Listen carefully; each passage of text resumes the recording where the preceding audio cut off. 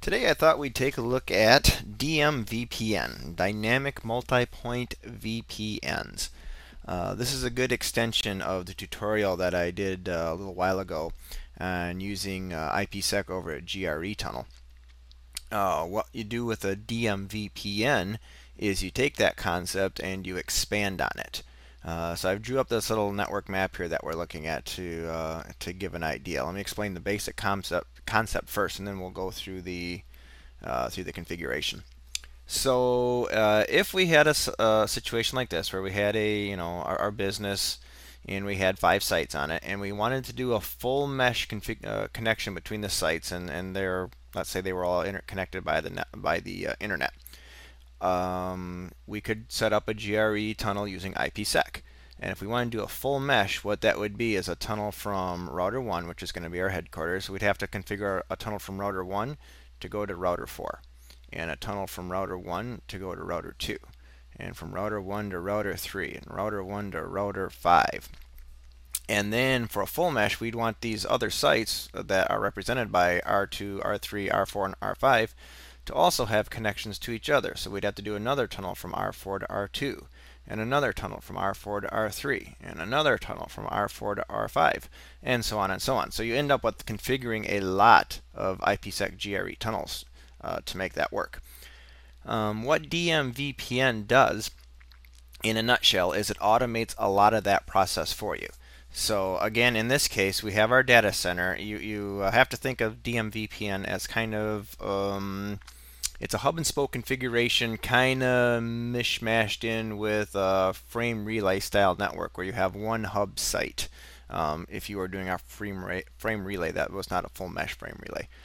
Uh, so what you do in a DMVPN configuration is you configure router 1 and you build a tunnel from router 1 to uh, router 2. So you build a tunnel here and then you build a tunnel from router 1 to router 3 and a tunnel from router 1 to router 4 and a tunnel from router 1 to router 5 same thing that we we have to do manually for a full mesh configuration using uh, IPsec over GRE tunnel.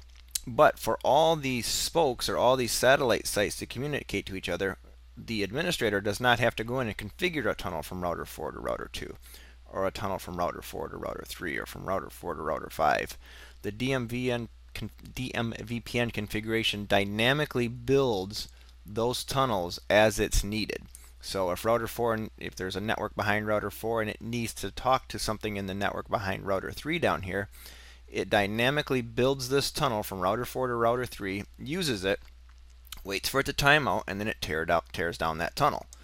All that configuration and information is all um, stored, if we will, uh, on our hub router, in this case our data center. So router 4, we got a network behind router 4, it needs to talk to router 3, it goes down here into its hub site and says, hey, I need to build a tunnel to router 3. Router 3 says, here's your next hop uh, information. Router 4 says, thank you very much. It dynamically builds this tunnel. These two talk to each other. They're done processing data. The tunnel is tore down. The nice thing about DMVPN uh, is that we can run our uh, internal routing protocols across it. Now the way that this works is very, very much like uh, like uh, some frame, frame relay implementations. Uh, let's say we have router 4 here and we add a new network to router 4 and advertise it into our uh, EIGRP process. Router 4 sends out an update. It does not send the update to router 2, router 3, or router 5. It sends it only to the hub router. So router 4 sends an update to the hub router. The hub router receives it, adds it to the routing table, and sends it back out to the other routers that are in the configuration. So it's a it's an interesting animal. We got some IPsec going on, we got VPN tunnels going on, we've got a throwback to a non-broadcast multi-access type of network uh, infrastructure. We got some we got to turn off some split horizons to make this work. We're going to be setting up some MGRE tunnels, multi-point GRE tunnels. So just like this physical interface connects to everything, we're going to set up a, a GRE tunnel, one tunnel on each device to connect to everything. It really simplifies the work that you as an administrator have to do when you want to create IPsec tunnels between sites. Um, but there are some things to be aware of and some possible gotchas in the configuration as well. So let's run through this real quick. I'll show you how to do some basic configurations and then uh, we'll do some show outputs and I'll show you some of the concerns that I have with DMVPN. Let me also state that um, I don't know much about DMVPN. I got interested in it, did a little research on it, found some information on Cisco's websites, uh, did a little research, and thought I would mock it up and see uh, what the ins and outs of it are. So uh, after we mock this up, I'll show you some of the uh, the things that I found out, some of the things that caused me some concern, and uh, we'll take it from there. Okay, so as I mentioned in our configuration, we're not going to configure four spoke sites. We're only going to configure two. Routers 2 and routers 3. 4 and 5 are going to be exactly the same. Um, and the more spoke sites you have, the more scalable DMVPN uh, it becomes. The less tunnels you as an administrator have to create manually. Uh, for our purpose, we're only going to do router 2 and router 3. Um, and router 1 is going to be at our hub site, our data center site, our main site. Each one of these routers has an internet connection. Uh, notice the first three octets are the same, but they are each in their own slash 30 network space. And behind each router, I put a, let's call it a client network. It's a loopback uh, on the router, but we're going to treat this as our client network. Each of these routers is running an EIGRP process number 10, advertising this client network into EIGRP. Uh, but right now, they have no, con no connection uh, to each other. So, let's hop into router 1 and start that uh, basic configuration on our hub router. Our hub router has the most configuration to it. Uh, it's the one that has to tell R2 and R3 and R4 and R5 how to build their tunnels to other sites when they need to. So we have to do a little bit more configuration on our hub router than we do on the spoke routers, but not too much. So let me uh, let me bring up R1 and we'll get started. Okay, let me pull this into the window. Here's uh, R1, our hub router. So the first thing we're going to do is uh, I want to verify that R1 can actually reach these other routers. So R1's IP address is .1, its default gateway is .2. Router 2's IP address is .5, its gateway is .6. And down here for router 3, its IP is .9, its gateway is .10. So I'm just going to do a quick ping, make sure I can get all those. 54.45, good lord, 45.12.1, which would be itself. 2 is its default gateway. Uh, 5 is router 2. 6 is router 2's default gateway through the internet here. Uh, 9 is router 3. And 10 is router 3's default gateway on the internet. Okay, so we can ping all that. We're, we're good to proceed. So what we do here for the first steps is the same thing um, that we went through when we set up a, a GRE tunnel using IPsec. We have to set up our basic IPsec parameters. So our ISAKMP policy, our ISAKMP key, because uh, we're going to be using a pre-shared key in this example. Uh, we have to create our transform set for our, our IPsec uh, transform set. Um, and then we're going to vary it a little bit from what we have to do. We're not, we don't create a crypto map. Um, we don't create an access list to tell it which uh, information to encrypt. So let's get the first uh, few steps done so we have our get our basic um, IPsec tunnel up and running. So the first thing we need to do is create a um, an ISAKMP policy. So we're going to do ISAKMP policy 10. Uh, I'm going to kind of fly through this rather quickly. I did a, another video about uh, IPsec over GRE where I explain this in a little bit more detail. So if I'm going kind of fast, just uh, pop back over to that video to, and take a look. So IPsec uh, policy number 10, we're going to use an encryption um, AES 192-bit. We are going to use a hash of MD5. Uh, let's set up our authentication. We're going to use a pre-shared key because I don't want to mess with our certificate server. And we're going to put it in Diffie-Hellman group number 2. Alright, so we're done with our ISAKMP policy. Now, because we said we were going to use a pre-shared key for our authentication, we have to define that pre-shared key. So, crypto, ISAKMP, um, key, and then the name of our key. We're going to call ours ISA, ISA key. Uh, now,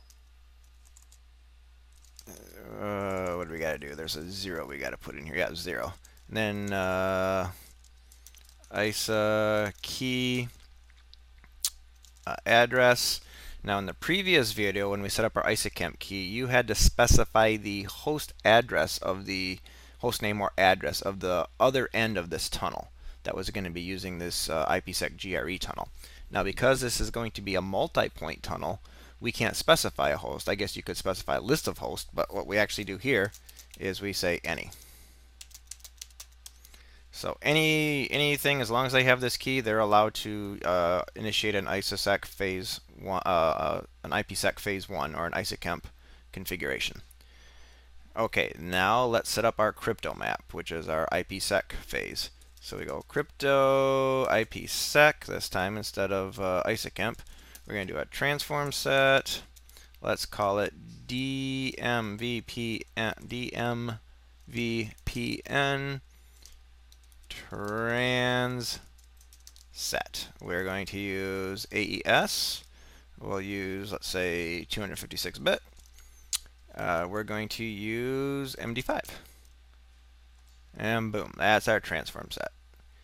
Alright, we're done with our transform set. Now, when creating a point-to-point -point IPsec tunnel, you normally would create a crypto map, to define your interesting traffic with an access list, uh, something like that. What we do in a multi-point GRE that we're going to be using for uh, DMVPN is we create what's called a profile instead. So crypto IPsec profile, we'll give it a name, DMVPN profile. This is just the name of our profile. We're going to set uh, a timeout on uh, this. This is how long that dynamic tunnel waits before it is tore down, before it automatically tears it down. We're going to do it in seconds, and the minimum we can do is 120. So we're going to set it to the minimum, uh, just so I can point out some of the things that I've noticed when messing around with this. So a minimum of 120 seconds, and then we say set transform set to be the name of our transform set, which was right up here. Done. Okay, so we're done with uh, with our profile on that one. All right, the next thing we need to do, so that takes care of all of our IPsec stuff. We've done our ISAKMP, which is phase done. We've done our IPsec policy, which is phase two. We've done a profile, which you can kind of think of as a map, although it really isn't. We do a lot of our map statements actually on the interface. Um, but the profile kind of ties things together. So we're going to create our tunnel interface now. Interface tunnel 0. Uh, we give it an IP address. Uh, and back here on our map, our, our, network map, I noted for our DMVPN IP plan, router 1, the tunnel interface is going to be 1.1. Router 2 is going to be 1.2, and router 3 is going to be 1.3. So we're going to give this an IP address of 1.1, 192.168.1.1, and they all are in the same network. So slash 24. Might help if I put the keyword address in there. All right, uh, we are going to do a no IP redirect. We're going to uh, reduce the MTU size down to, we're going through the internet with encryption on top of the packets. Um, now we're going to get into something that does the next hop. This is the configuration that when the spoke routers come to the hub routers, it keeps a database that tells them where to go. So if uh, the host behind router 2 need to spoke, speak to the host behind router 3, it uses a, a, protocol called NHRP, Next Hop uh, Resiliency Protocol, Next Hop something protocol. Router 2 sends says to router 1, hey, I need to get to this network. What do I do? Router 1 says, oh, that's easy. Your next hop address is this. Router 2 says, thank you very much. It builds a tunnel between router 2 and router 3 and sends the traffic back and forth. Once 120 seconds have elapsed with no traffic, that tunnel is tore down. Router 2 and router 3 in our instance have no knowledge of how to build this tunnel to each other. They have to go to router 1 to get that tunnel information. So let's drag router 1 back in here and we're going to configure that part of the so IPNHRP uh, authentication NHRP authentication and for the authentication we use our ISAKMP key. So uh, up above here we define the ISAKMP key as ISA key, our phase 1 key, our pre-shared key. So there's our ISA key. We'll copy that and paste it down there uh, IP, NHRP, uh, multicat, uh, map multicast. Now we're building um, what I had mentioned, which is kind of like a crypto map. It kind of does the same thing, only much more so. Multicast dynamic. What this tells it to do is to allow dynamic uh, multicast protocols to use the dynamic tunnels. And in this case, we're using uh, EIGRP, which is a multicast protocol. So we want to make sure that multicast is allowed. IPNHRP, we're going to give it a network ID. We're going to call it network ID 1 in case we had more than one of these set up. We are going to turn off split horizon for EIGRP process EIGRP process 10. Now I had mentioned here when we looked at the map, there is only one real interface here. So if router 2 does an update, it sends it to router 1 through FAT00 and then router 1 has to send it back out through that same interface to the other routers. Now in this case we're creating uh, GRE tunnels, but it's still we don't have to create multiple tunnels. We're creating a multi multi um, multiple uh, excuse me multi-point GRE tunnel. So there's going to be one tunnel coming in and the updates are going to come in through that tunnel and router 1 has to turn around and send those updates back out through that same tunnel interface to the other routers that are in the DM DMVPN network. So we got to turn off split horizon or else that won't work. Uh, we also need to turn off next hop self for that same process.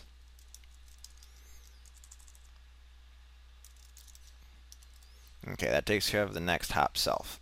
Now we need to specify a tunnel source, which is fast 0 slash 0. Uh, tunnel source fast 0 slash 0 and tunnel mode, we're going to tell it that it's going to be a GRE multi-point tunnel. And tunnel, we're going to set up a tunnel key. We'll use 0. And there our tunnel interface comes up. And the last thing we want to do is add our IPsec layer on top of our tunnel interface, or our, our multi-point tunnel interface as we've configured here. So we're going to say tunnel protection IPsec. It's going to be the profile that we created called DM VPN profile, right? Right here. This guy right here. The profile that we created earlier. So that's the encryption layer that we want put on that MGRE tunnel, multi-point GRE tunnel.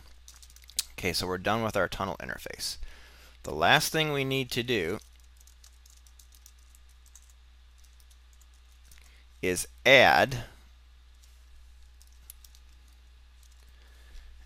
the new IP space that we created to our EIG, EIGRP process. So right here, 10110 is the network that's behind router 1. We need to add this network, our, our, our virtual tunnel interface network, to the routing process as well. So we are going to say router EIGRP 10 network 192.168.1.0. So we're adding our GRE tunnel interface uh, IP space to the routing process. All right, that's all we need to do on router 1. Now, I'm just going to slide this up out of the way because we do need to come back to it. Let's get router 2 quickly. Now router 2 is our is our first spoke router, um, our first spoke site. So what we need to do on router 2, go into config mode, and we this the first process is the same. We still need to set up all the same IPsec, ISAKMP policies, IPsec policies, the profile, password, all that stuff that we did on router 1. We need to recreate on router 2 so we can form the, the tunnel. So we're going to show, we're back on router 1, show run, and I'm just going to copy and paste all that information from router 1 right onto router 2. So this is all the information we need. Our ISAKMP policy, our password, our transform set, and our um, our profile. So we're just going to copy that from router 1, flip over to router 2, paste it in there. There, now all of our policies match. Okay, next thing we need to do is create our tunnel, uh, create our tunnel face. Now, here's the interesting thing. Let me point this out in case it got missed. We are not creating a tunnel interface from router 1 to router 2 and another tunnel interface from router 1 to router 3. They're both using tunnel 0. So tunnel 0 goes to this one, tunnel 0 goes to router 3. Same thing from router 3. Tunnel 0 is going to take it to router 1 when it needs to. And tunnel 0 is also going to take it to router 3 or router 4 or router 5 whenever it needs to. Uh, that's why we're using uh, MGRE, multi-point GRE. We can have multi-point configurations over this single interface. Again, very much like a frame, frame relay network. Um, so that's why we're only creating a single tunnel, tunnel interface on each device. Okay, so we created our tunnel. Um, the next thing we need to do is give it an IP address. 192.168.1.2. Again, looking at our table back here, router 2 is going to get 1.2. So there's its IP address. Um, we're going to do no IP redirects on this one. IP MTU, same uh, MTU. Knock that down a little bit because of the encryption. I don't know if I need to back this out or if it'll. I think it'll just override it, but okay. Um, IP, next hop, resiliency, whatever, protocol, um, authentication.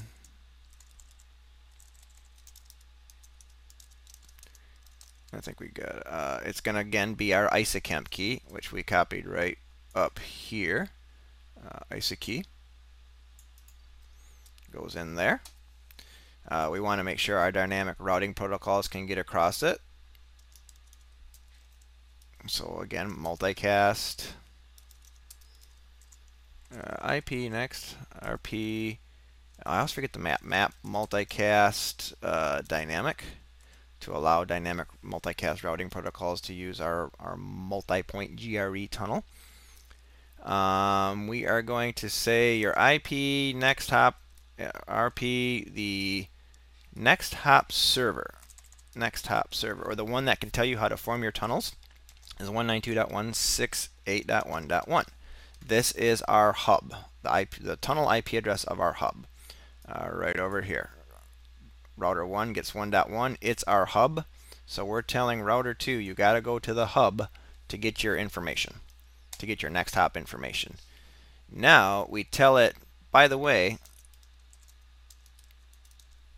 um, to get to 192.168.1.1 you need to use the real IP address on that interface uh, 12.1 so this is our map. It says to get to 192.168.1.1 you really need to use 5445.12.1, which is the real IP address of FAST00. So that takes care of that. Then we need to do something very similar for to allow the multicast to work. Um, map multicast, and we're telling it to multicast. You you also need to use this external IP address for your your multicast, like EIGRP in our case. Uh, we got to give it a ID. And we used ones on our core, so we'll use one on our hub. Uh, we got to use a tunnel source. Interface is going to be fast, 0 slash 0, because that's the only interface that we've got. We're going to use tunnel mode, GRE multipoint. Same thing as what we had to do on the on the um, the hub site. We're going to use tunnel key 0. And we have to add our IPsec, tunnel protection, IPsec policy, tunnel protection, IPsec profile. Having trouble typing. And the name of our profile, which was DMVPN profile. We take that, put it down there and that's going to add the uh, IPsec layer on top of our MGRE tunnel. We're going to exit out of that, and just like we did on router 1, we have to add that tunnel subnet to our routing process. So router EIGRP 10.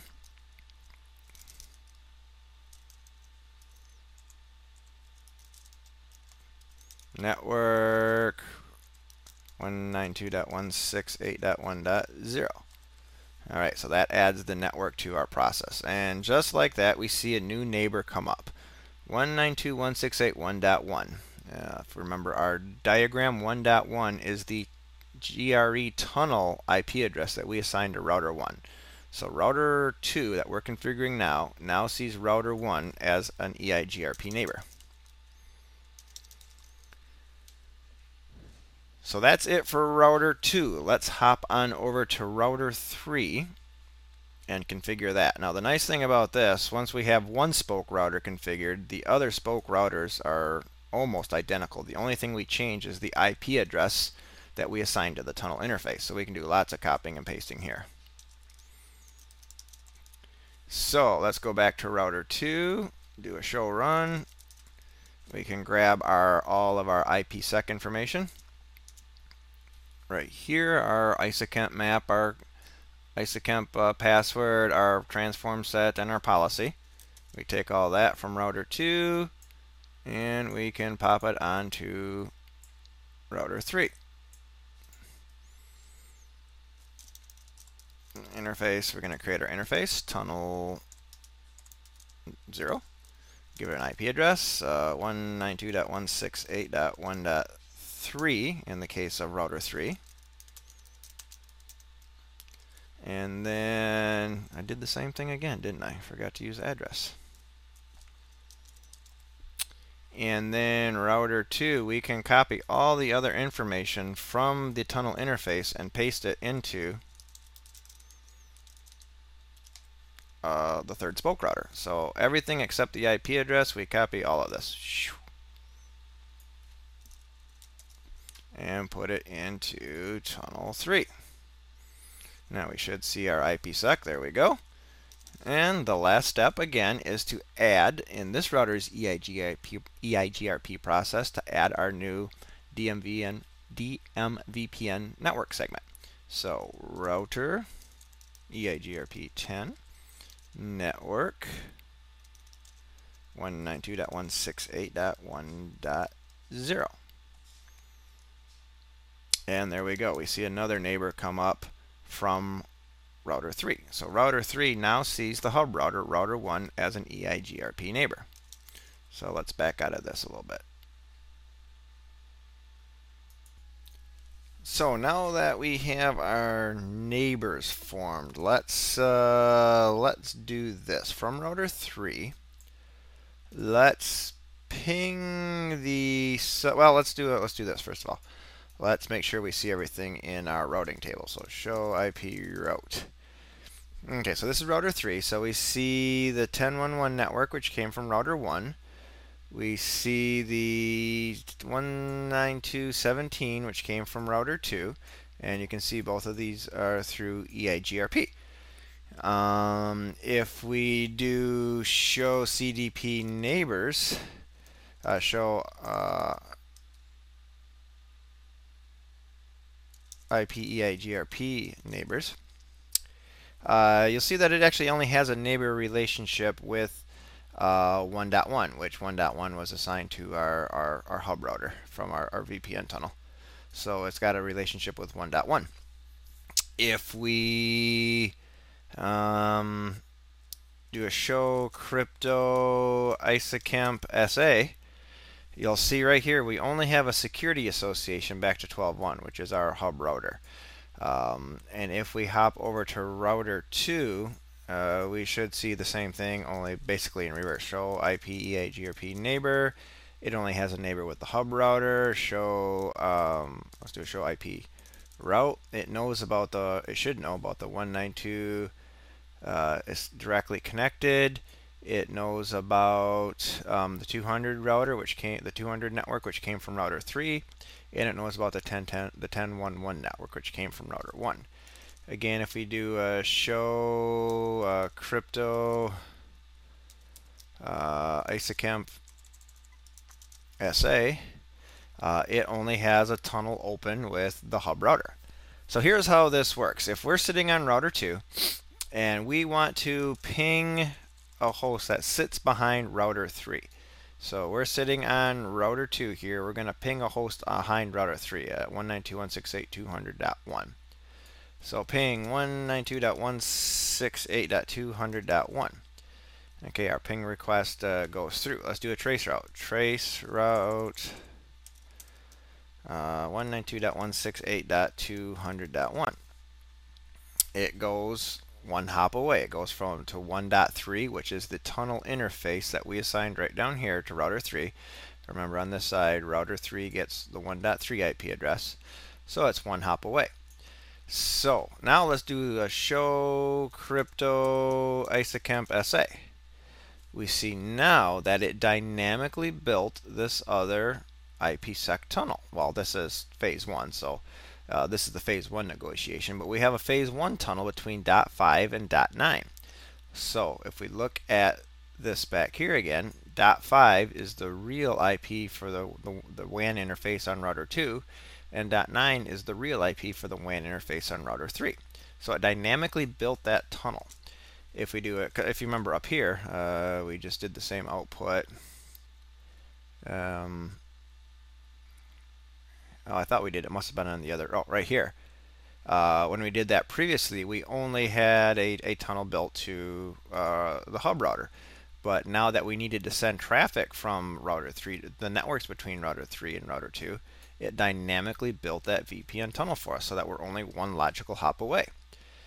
Uh, so if we hop onto um, router 3, we should see that uh, show IP ISAKMP SA, show crypto. ISAKMP SA. Now the reason I'm doing the ISAKMP, I mean, that's really only phase one. To see the IPsec tunnel, we should be saying show crypto, uh, show crypto, uh, IPsec SA. That shows us the actual, you know, IPsec tunnel where we see packets are being encrypted and decrypted. Uh, but the output's pretty messy. So here we see that it's going from dot .9, which is routers 3's WAN interface, to dot .1, and we tab down a little bit, and here's our second uh, interface that goes from 9 to 5, which is router 3 to router 2. Um, and we can see the packets are encrypted and decrypted, uh, etc. Uh, the reason I'm using the SA, or the ISAKMP SA, is because it, it, it, shows the tunnels up, and it's a much quicker and easier to look at output. It does not show us, however, like we see with IPsec, where we see that the packets are actually being encrypted by our IPsec policy. So, I mean, there, there is a big difference. I'm just using this as a shortcut to verify tunnels. Okay, so now uh, if we do a show IP EIGRP, EIGRP neighbor, we still only have the one neighbor uh, back at the hub router. So even though router 2 and router 3 um, are receiving the routes from each other, it's using a, a, a, hub and spoke configuration based very much on our frame relay. So router 2 is advertising its client network through EIGRP. Its neighbor is the hub router, router 1, uh, on that tunnel 0. We disabled uh, we disabled um, split horizon. So router 1 receives that update from router 2 on the tunnel, and it turns around and sends it out to the other multicast clients on that, that multicast uh, or that multi-point uh, GRE tunnel. So it comes into router 1, router 1 updates the routing table, and then lets router 2 and router 4 and router, router 5 know about that. Um, so those are uh, those are the basics for setting up uh, basic um, DMVPN. So now I'll, I'll tell you the few things uh, that have me concerned about DMVPN now that I've played with it. And let me preface this by saying, you know, I have not been working with DMV, DMVPN for long at all. I just started looking into it. So I suspect a lot of the questions and the concerns that I have uh, can be answered fairly easily once I get time to do a little bit more research into it. Um, but here's the here's the main two two main things that I'm concerned about with uh, DMVPN, at least in this configuration. Router 2 needs to get to a network in router 3. It doesn't know how to get there. I mean, it has to use the next hop, the NHRP protocol. It queries the hub, says, hey hub, router, I need to get to this network. What's my next hop going to be? Router 1 tells it to use its next hop of 1.3 It builds this dynamic tunnel because they've all been configured with the same ISAKMP and IPsec policies. It dynamically builds this tunnel, sends the information, and then after two minutes of inactivity, that tunnel is tore down. Also, as far as EIGRP updates go, when this router has an update, it sends the update to the hub. The hub turns around and sends it back out to everybody else. So as you can see, this hub router is extremely important. These two devices, even though they're only one logical hop away through the GRE tunnels, they are not EIGRP neighbors. They are only neighbors with the hub router. So router 2 is not sending its updates directly to router 3 or router 3 sending them directly to router 2 or 4 or 5. They are all going through router 1. Likewise, when these two devices need to eh, that we've configured need to communicate with each other, they don't know how to do it without going to router 1 first and asking router 1 to tell them what the next hop IP address is. And it comes back, and, and then once router 2 knows that, then it can build this tunnel, facilitate building this tunnel. Router 1 isn't used for the data transfer between router 2 and router 3. Once the tunnel's built, they'll send uh, information through the internet directly to each other. But router 1 has to be consulted for building the tunnels and also for the dynamic routing protocol updates. So uh, and as a demonstration of that, let's do this. I think I've talked long enough. Let's see if router 2, if we start to see some timeouts on her. Okay, so there you see it. Um, we went for two minutes, and this tunnel disappeared. Two minutes went by, or 120 seconds, that tunnel was tore down. So uh, that's part of the dynamic, you know, multi uh, of, of the VPN solution, multi-point VPN solution. It dynamically builds and rips down those tunnels. So aside, so I have three concerns with it. Number one, the spoke routers are not direct neighbors to each other for your dynamic routing protocol. Um, I'm guessing with a little bit of looking and researching, I can uh, uh, find out if there's a, uh, a way to make these EIGRP neighbors, or maybe you don't want to. Uh, my bigger concern is the fact that everything relies on router 1. If you lose your hub router or your hub site or your hub site loses its connectivity to the internet, these spoke sites do not know how to communicate to each other. So let's give an example of that. So let's go into router 2. Let's do a quick ping test. Ping 192.168.268.200.1. Okay, so router 2 can ping the loopback on router 3 here. It, it's in the EIGRP routing table.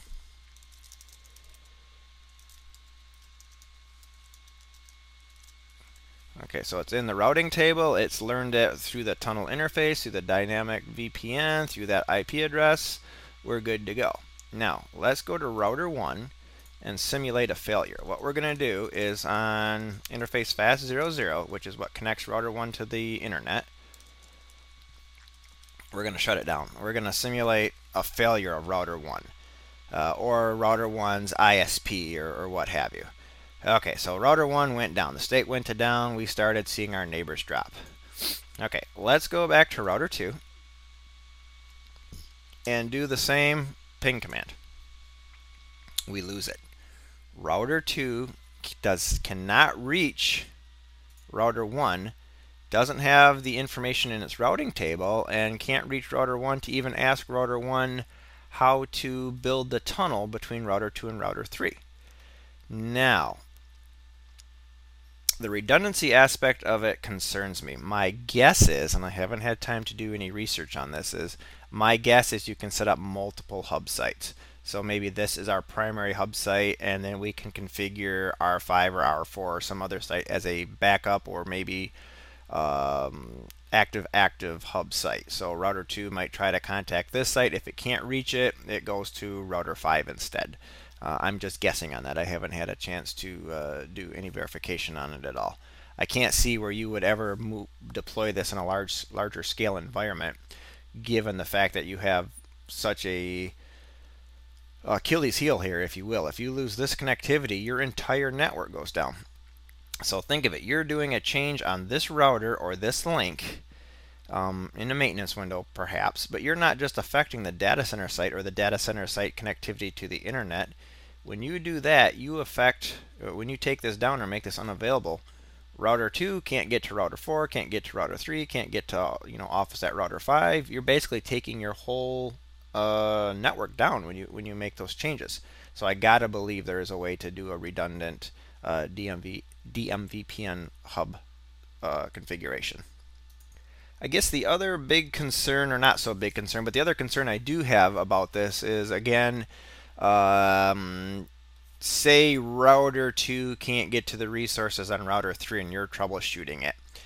If you hop in there and you start looking at your routing protocols and you're not familiar with the site and you don't see these routes being advertised in EIGRP, um, it, it, could be trouble difficult to troubleshoot or it could throw your troubleshooting off. You, you need to make sure that uh, like a network map like this is insufficient for this case. You need to specify that there are tunnel interfaces in here and you need some text description of uh, how your DMVPN is set up and configured. Coming in cold and trying to troubleshoot an issue with DMVPN um, could be a bit tricky. Whereas if you had point-to-point uh, multiple tunnel interfaces to each site, uh, I would think the troubleshooting might be a little bit easier Plus you'd reduce the fact that router 2 and router 3 could be direct EIGRP neighbors and update each other as to their routes without having to go through router 1. Also, if you lost your hub site, um, these other four or five or six or spoke sites, they wouldn't be cut off completely. Yeah, they couldn't reach your hub site, which is maybe where your exchange server is and your other data center services are, but they'd all be able to get to the internet and they'd all be able to get to each other um, if that's needed. So again, I have a lot of research to do on DMVPN. I suspect a lot of the concerns that I have have been addressed and can be addressed fairly easily. I just haven't had time to uh, look into it at all yet. Um, but if I do and I find out some good information, I will do a part two follow-up to this video and, and uh, explain what I found out about how you can uh, take care of some of the redundancy issues um, that are present here in a, in a default DMVPN configuration. So I hope this was uh, helpful to you, and if you do know uh, any of the answers to my DMVPN questions, uh, please leave a comment on uh, YouTube and uh, let me know what the answer is, or point me to the resources to find that out. I'd really appreciate it. Take care.